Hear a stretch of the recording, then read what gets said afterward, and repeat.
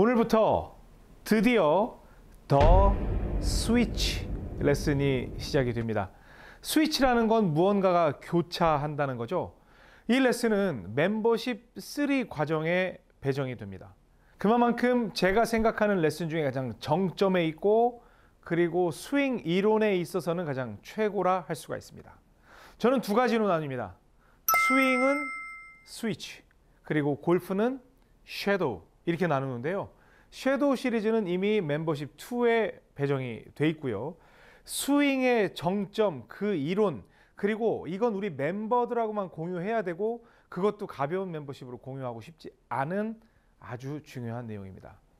이병옥 골프랩 로고를 보면 OK 스윙이라고 써 있죠. 거기에 O자를 보면 동그라미 위에 빨갛게 이 깃발 표시가 되어 있지만 그 자체 O자만 보면 스위치 모양으로 되어 있습니다. 이 스위치 이론은요, 여러분 골프 스윙에 있어서 굉장히 센세이션한 내용을 전달해 드리게 될 겁니다. 크게 교차 스위치와 버튼 스위치로 구분이 되는 스위치 시리즈. 이 이론을 습득을 했을 때 여러분들은 매우 간단하게 프로들과 같은 스윙을 할 수 있게 됩니다. 일반적으로 모든 멤버십 시리즈에서 1편은 오리엔테이션으로 배정을 해서 모든 이가 시청하실 수 있게 해 드리는데요. 이 스위치 레슨은 그렇게 하지 않습니다.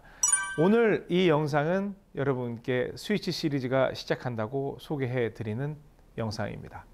그 본격적인 시리즈는 오리엔테이션으로 시작이 되는데요. 그건 바로 다음 편부터 시작하도록 하겠습니다. 정말 여러분들의 스윙 기준을 새롭게 제시할 더 스위치 시리즈 다음 시간에 찾아뵙도록 하겠습니다. 지금까지 이병옥 골프랩의 이병옥이었습니다. 고맙습니다. 골프용품은 옥스윙몰에서 좋아요, 구독은 덤